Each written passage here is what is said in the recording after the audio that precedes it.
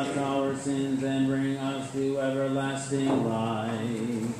Amen. Let us pray. O God, who see how your people faithfully await the feast of the Lord's Nativity, enable us, we pray, to attain the joys of so great a salvation and to celebrate them always with solemn worship and glad rejoicing through our Lord Jesus Christ, your Son, who lives and reigns with you in the unity of the Holy Spirit, one God forever and ever. Amen.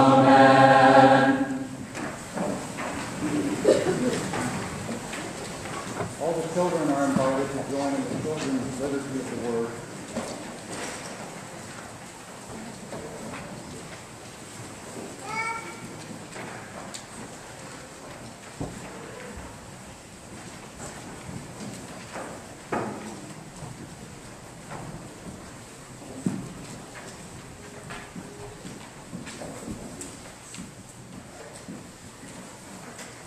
A reading from the book of the prophet Isaiah. The Spirit of the Lord God is upon me, because the Lord has anointed me. He has sent me to bring glad tidings to the poor, to heal the brokenhearted, to proclaim liberty to the captives and release to the prisoners, to announce a year of favor from the Lord and a day of vindication by our God. I rejoice heartily in the Lord. and my God is the joy of my soul. He has clothed me with a robe of salvation and wrapped me in a mantle of justice. Like a bridegroom adorned with a diadem, like a bride he decks with her jewels. As the earth brings forth its plants and a garden makes its growth spring up, so will the Lord God make justice and praise spring up before all the nations. The word of the Lord. Thank you.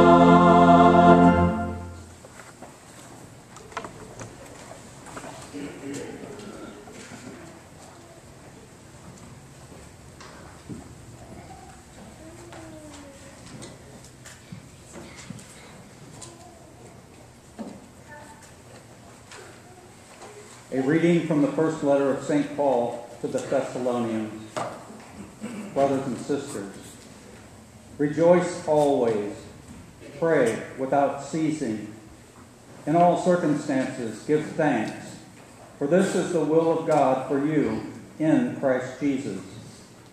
Do not quench the Spirit. Do not despise prophetic utterances. Test everything, retain what is good. Refrain from every kind of evil.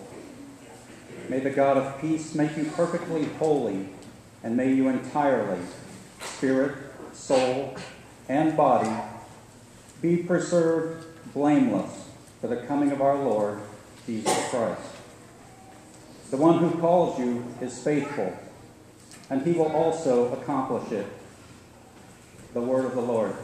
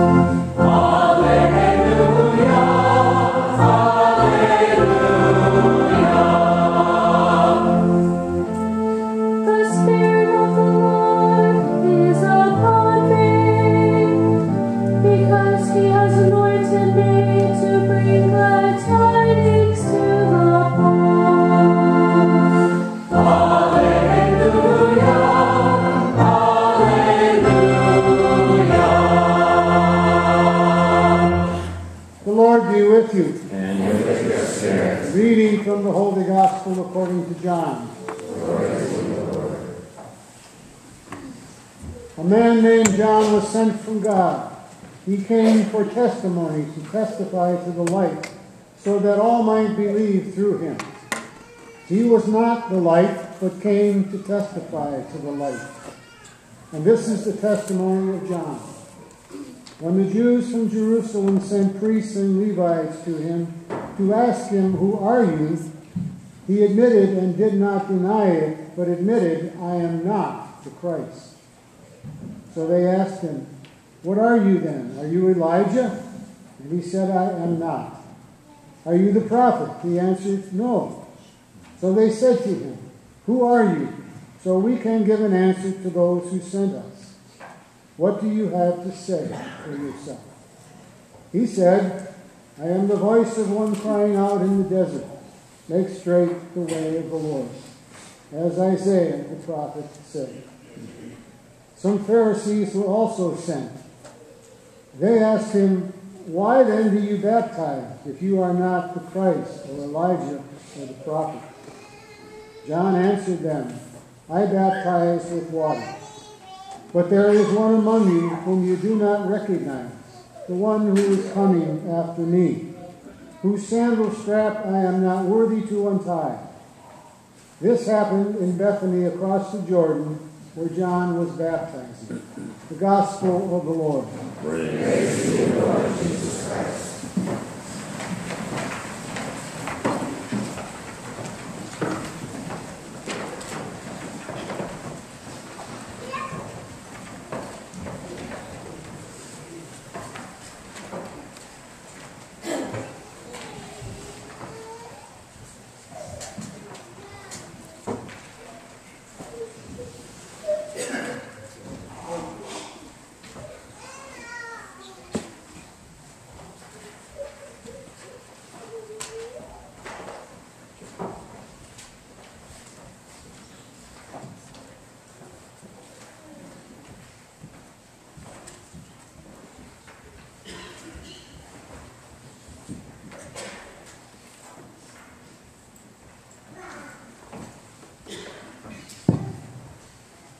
Here's a message from St. Paul Rejoice always.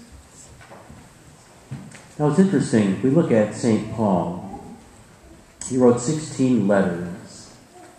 This was the first one he wrote. The last letter he wrote was written from prison. Letter to the Philippians. And he was actually on death row at the time. Now, we think about this. He's telling us to rejoice. And here was a man whose career involved all kinds of adversity.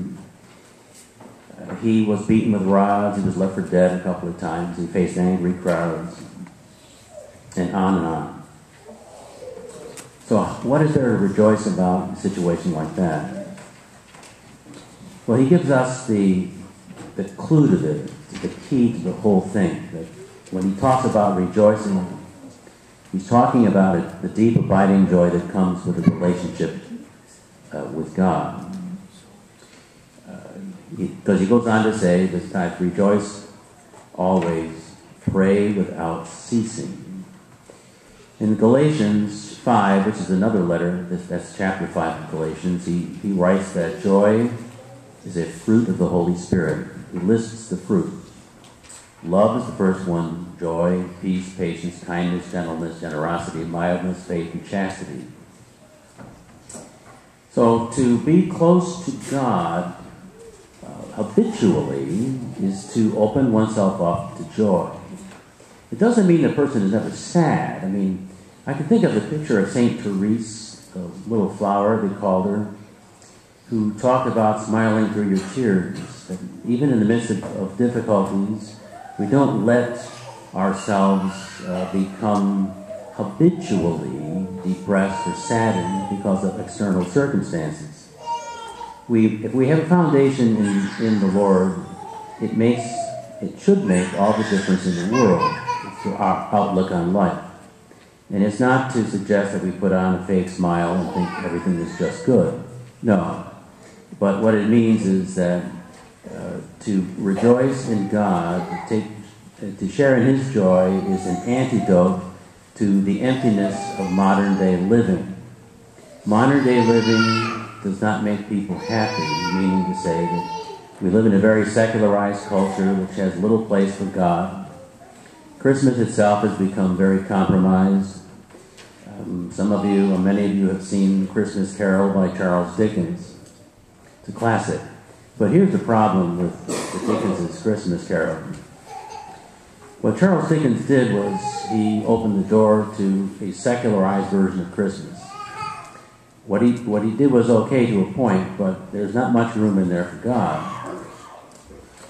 So we, the thing is, the world really doesn't understand what we should understand. So there's a great deal of sadness in the world about many things connected with the emptiness of modern living. Now, people have counterfeits for joy that, some, that uh, they, they think will take the place of real joy, the joy that they don't know. What are some of the counterfeits for joy? One of them is pleasure. Now, I'm not saying pleasure is a bad thing. I mean, if people didn't derive pleasure from eating, many people would starve. Pleasure is a good thing with, within certain limits. Too much pleasure and a person gets sick or intoxicated or what have you. Pleasure is not an end in itself. It's fleeting, it tends to be superficial. It does not substitute for real joy. So we have to be careful.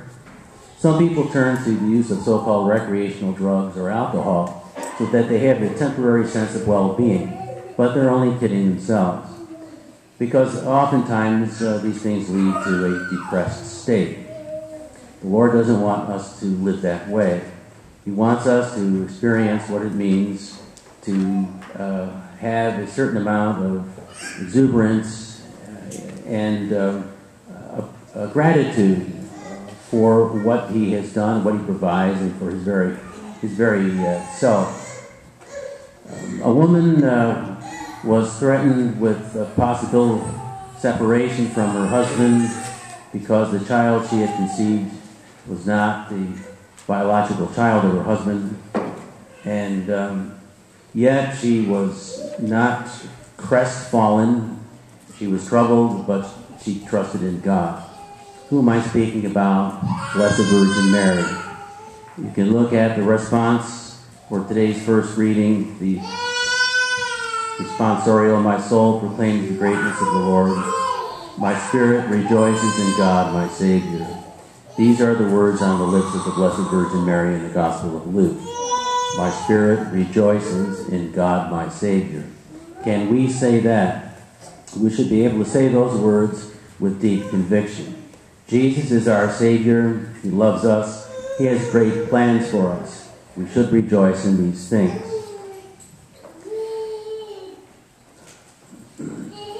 So, what do we do about opening ourselves up to the joy of God? Well, St. Paul says we must pray, pray always, pray without ceasing. How do we do that? We do it by giving ourselves an opportunity to have blocks of time in the day to pray, devotional time. Uh, more than five minutes or three minutes or two minutes. Half an hour, 45 minutes, an hour, whatever it takes.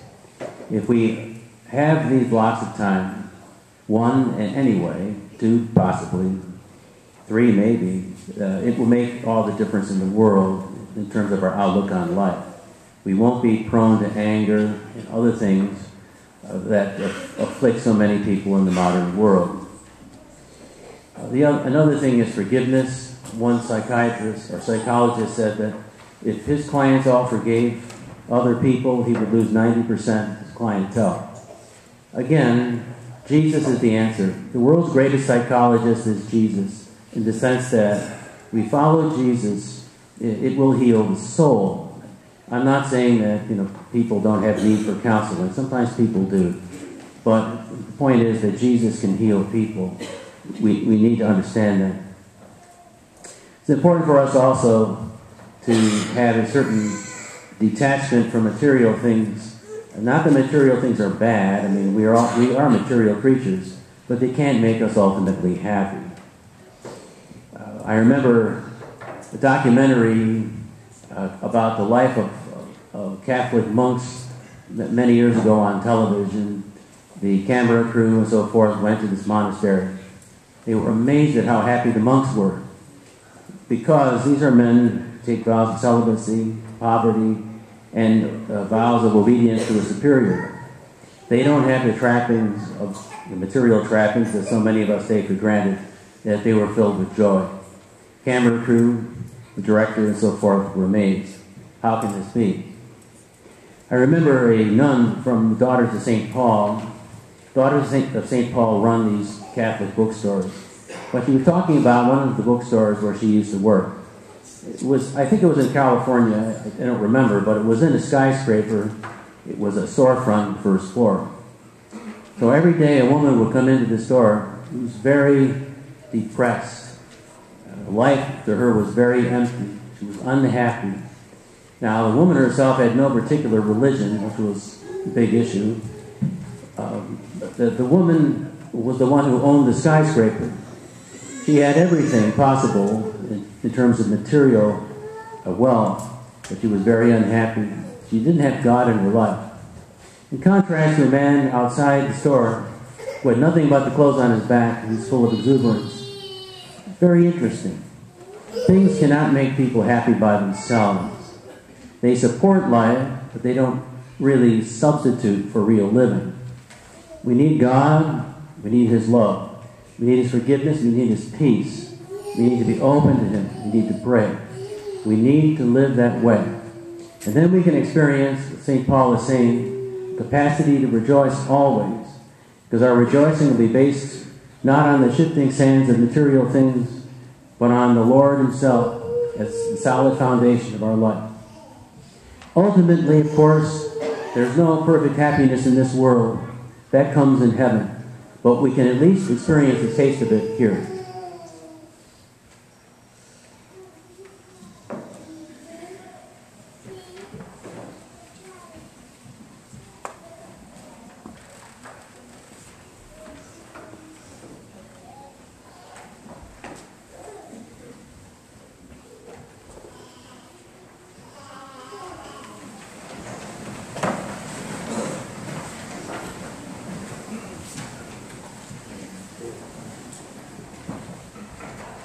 I believe in one God, Father Almighty, maker of heaven and earth, of all things visible and invisible.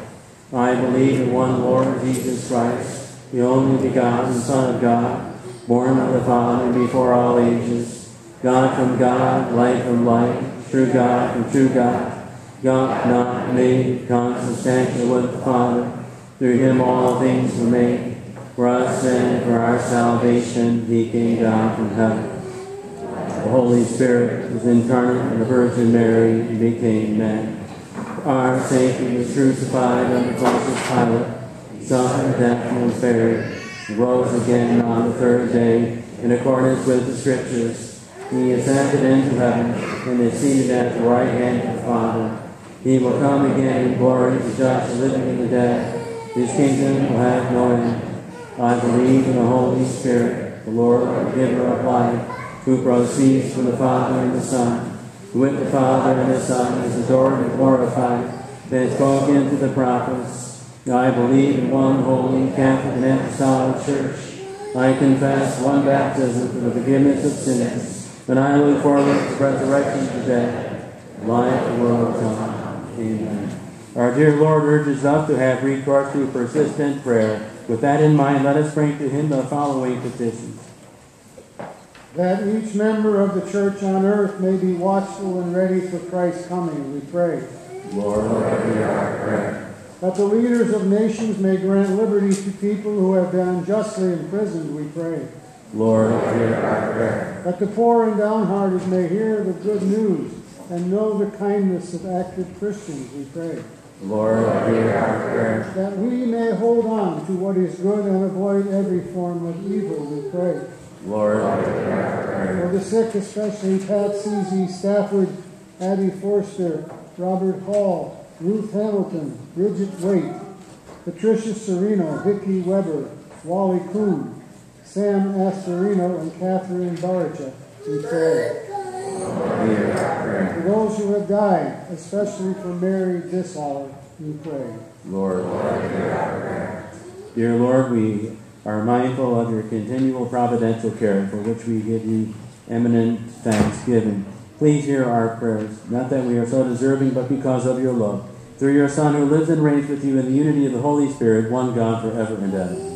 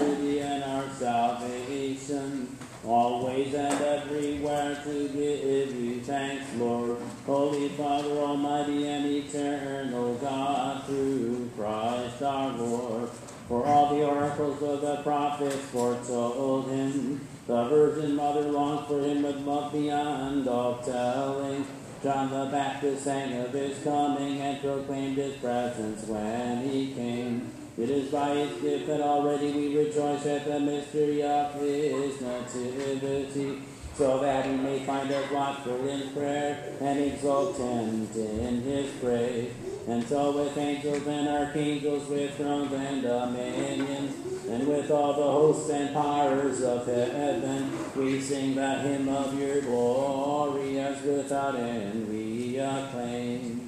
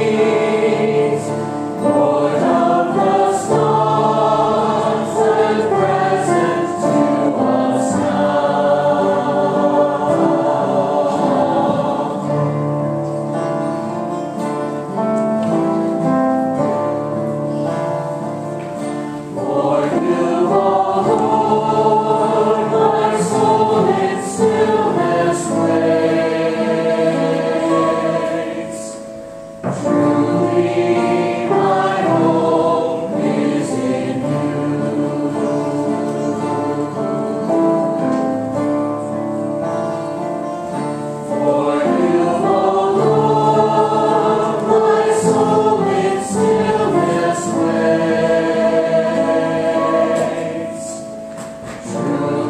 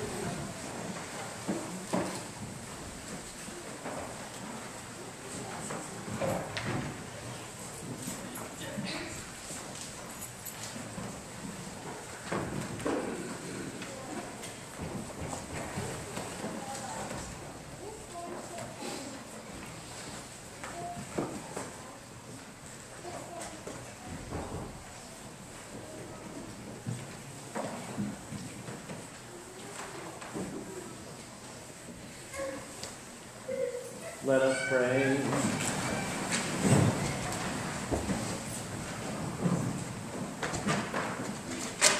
We implore your mercy, Lord, that this divine sustenance may cleanse us of our faults and prepare us for the coming feasts through Christ our Lord. Amen. Tonight at 7 is our annual music ministry Christmas concert, which is entitled Christmas in Scripture and Song. The concert will be out an hour long affair with refreshments to follow. It is free and open to the public, so they'll be right here tonight at 7. The Knights of Columbus uh, has its uh, monthly breakfast until 12.30 today at the Lodge on Route 20 in Geneva. Finally, um, take the bulletin home because uh, the schedule of the masses are in it. You need to go to two masses next weekend. There's not a two-for-one deal going on. two masses.